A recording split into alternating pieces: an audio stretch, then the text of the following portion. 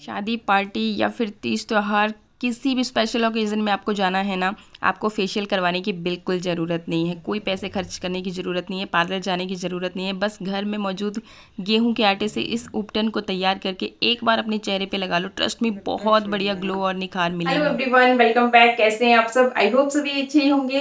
भाई, नवरात्रि स्टार्ट हो रही है। नवरात्रि के स्टार्ट होने के साथ साथ ही स्टार्ट हो जाता है शादियों वाला सीज़न और उसके बाद फिर करवा चौथ, दिवाली मतलब कि त्योहारों और शादियों का सीज़न चल पड़ा है। अब भाई स्पेशल दिखना तो बनता ही है। एंड स्पेशल दिखने के लिए चीज़ भी तो कुछ स्पेशल होनी चाहिए ना, जो कि आपको इंस्टेंट ग्लो दे, निखार दे और मेकअप वेकअप करने की ज़रूरत ही ना पड़े। तो देखिए, मैं आज आपको एक ऐसा ज़बरदस्त उपटन बनाना बताऊँगी, जो कि चाहे से आप शादी मतलब जो दुल्हन है, चाहे से आप दुल्हन हो या फिर दुल्हन के खासम खास या फिर कोई भी गेस्ट हो, कोई भी से लगाइए और अपनी स्किन को आप बेदाग निखरा हुआ, चमकता हुआ ग्लोई एकदम, जो आप चाहते हो ना एक्चुअल में दिखना, वो आपको इसी फेस पैक से मिल जाएगा। तो किस तरह से इसे आप फेस पैक बोलिए चाहे उपटन बोलिए, किस तरह से आपको ये बनाना है, लगाना है? मतलब सारी की सारी चीज़ें ना आपके घर में ही मौजूद है, आपको इधर उधर से कुछ भी इकट्ठा करने की ज़रूरत नहीं पड़ेगी। तो चलिए, जल्दी से देख लेते हैं। इंस्टेंट ब्राइटनिंग फेस पैक बनाने के लिए सबसे पहले तो हम ले लेंगे गेहूँ का आटा। एक चम्मच गेहूँ का आटा हम ले रहे हैं। वही जो रोटी बनाने के लिए आप इस्तेमाल करते हैं, कोई सा भी आटा जो आप खाने में इस्तेमाल करते हैं, वो आप यहाँ पे ले सकते हो। एक चम्मच आपको लेना है और गेहूँ का आटा ना गुणों से भरपूर होता है। पोषक तत्व कूट कूट के इसमें भरे होते हैं, जो कि आपकी स्किन को टाइट भी करते हैं। एंड अगर फेस पे कोई भी दाग धब्बा है तो उसको लाइटन करने की कैपेसिटी भी इसमें होती है। इसके बाद अब मैं ले रही हूँ कॉर्न स्टार्च बोलते हैं इसको। ये भी आपके घर में किचन में ही इजीली मौजूद होता है क्योंकि बहुत सारी डिशेज़ में हम इसे यूज़ करते हैं। और मोस्टली जब हम कोई भी ग्रेवी वाली चीज़ बनाने वाले होते हैं ना तो उसको गाढ़ा करने के लिए इसे यूज़ करते हैं। तो ये आपको एक चम्मच लेना है एंड अब ये मैंने लिया है एक चम्मच मुल्तानी मिट्टी पाउडर मुल्तानी मिट्टी हमारे फेस से एक्स्ट्रा ऑयल को सूखने का काम करती है, बहुत ही कारगर होती है। तीन चीज़ें ले ली हैं। चौथी ये ले रही हूँ वाइल्ड टर्मरिक कस्तूरी हल्दी और कस्तूरी हल्दी ही इसलिए क्योंकि ये प्योर फॉर्म में होती है। अगर आपके घर में मौजूद है प्योर वाली तो आप वो भी ले सकते हैं। इसके बाद ले रही हूँ आधा चम्मच सैंडलवुड पाउडर चंदन पाउडर जो कि गुणों से भरपूर होता है और आपकी स्किन को यंग और टाइट बनाए रखता है। अब ये देखिए, मेरे हाथ में है, ये कपूर की टैबलेट है, दो रुपए की आती है। मतलब मार्केट में आपको इजीली मिल जाती है, जो हम पूजा में इस्तेमाल करते हैं वही वाली। और आपने सुनी रखा होगा कि सर्दी जुकाम के लिए भी बहुत ही ज़्यादा कारगर होती है। इसकी जो खुशबू होती है ना मतलब बहुत ही ज़्यादा अट्रैक्टिव जैसी होती है, एक तो आपके फेस पैक को मतलब एकदम खुशबूदार बना देगी और स्किन के लिए भी बहुत ही ज़्यादा फ़ायदेमंद है। तो मैंने इसे अच्छी तरह से यहीं पर कूट लिया है ताकि इसका पाउडर बन जाए, क्योंकि पाउडर फॉर्म में ही हमें लेनी है। आधी सी टैबलेट काफ़ी रहेगी और अगर आपको सूट ना करती हो, ऐसी कोई भी चीज़ जो आपको सूट नहीं करती है, वो आप स्किप कर सकते हैं। अब मैं इसमें ऐड करूँगी लगभग एक चम्मच के करीब शहद एंटीऑक्सीडेंट से भरपूर होता है, आपकी स्किन को नेचुरली मॉइस्चराइज करता है, साथ ही साथ स्किन को ग्लोई बना देता है यंग और टाइट बनाए रखता है एजिंग साइंस को छुपाता है, गुणों से भरपूर है तो आप भी ज़रूर लीजिएगा। एंड इसके बाद अब इसे एक गाढ़ा जैसा पेस्ट बनाने के लिए मैं इस्तेमाल कर रही हूँ कच्चे दूध का। और अगर आपकी बहुत ज़्यादा ऑयली स्किन है तो आप यहाँ पे गुलाब जल का भी इस्तेमाल कर सकते हैं। जैसे भी आपको सुटेबल लगे उस तरीके से आप ले सकते हैं, या फिर आप दही भी ऐड कर सकते हैं, दही की मदद से भी इसे मिक्स कर सकते हैं। तो जो भी आपके पास ईजिली अवेलेबल हो, आपकी स्किन टाइप को सूट करता हो, वो आप इसमें ऐड कीजिएगा, अच्छी तरह से मिक्स कर लीजिए। थोड़ा सा आपको इस तरह से रनी जैसा ही बनाना है, क्योंकि इसको जो लगाने का तरीका है ना, उसके लिए इसी तरह का पैक चाहिए। तो देखा ना आपने कितना आसान है इस उपटन को तैयार करना, और सारी की सारी चीज़ें आपकी किचन में ही मौजूद है। किसी भी झंझट में पड़ने की आपको बिल्कुल भी ज़रूरत नहीं पड़ी। अब बात कर लेते हैं कि किस तरह से आपको इसे लगाना है। लगाना भी उतना ही इंपॉर्टेंट होता है, अगर आप किसी चीज़ को बना तो लेते हैं, लेकिन सही तरीके से लगाते नहीं है ना, फिर वो वाला फ़ायदा आपको मिलता नहीं है। तो कैसे लगाना है?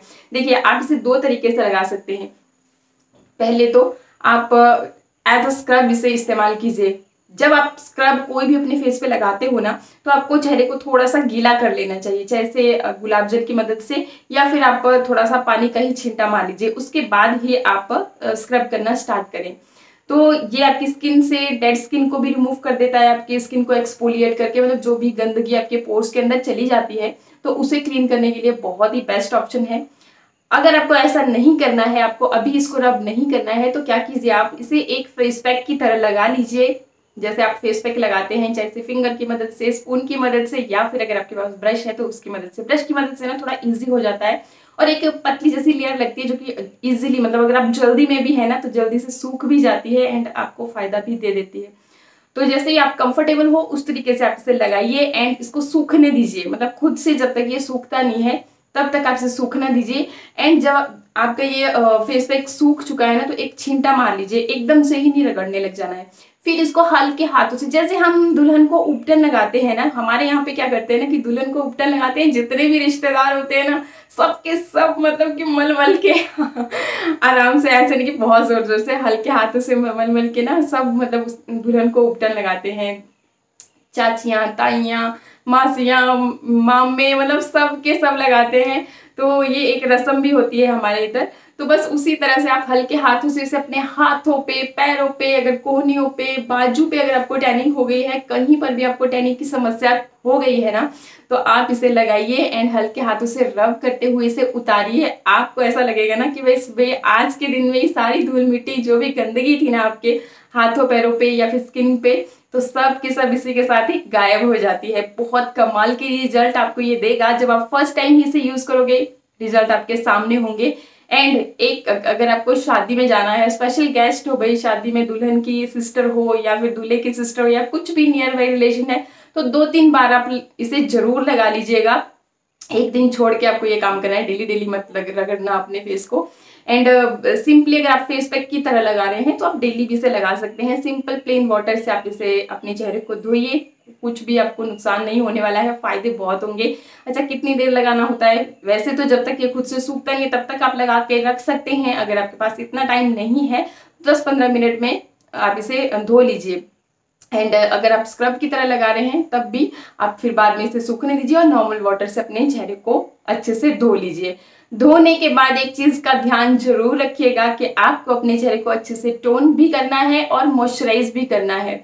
और कहीं पर भी अगर बाहर जाते हो, दिन में आप बाहर जा रहे हो, क्योंकि बहुत ज़्यादा हार्मफुल सनरेज होती हैं जो कि हमारे चेहरे, आपको पता नहीं चलता इस चीज़ का।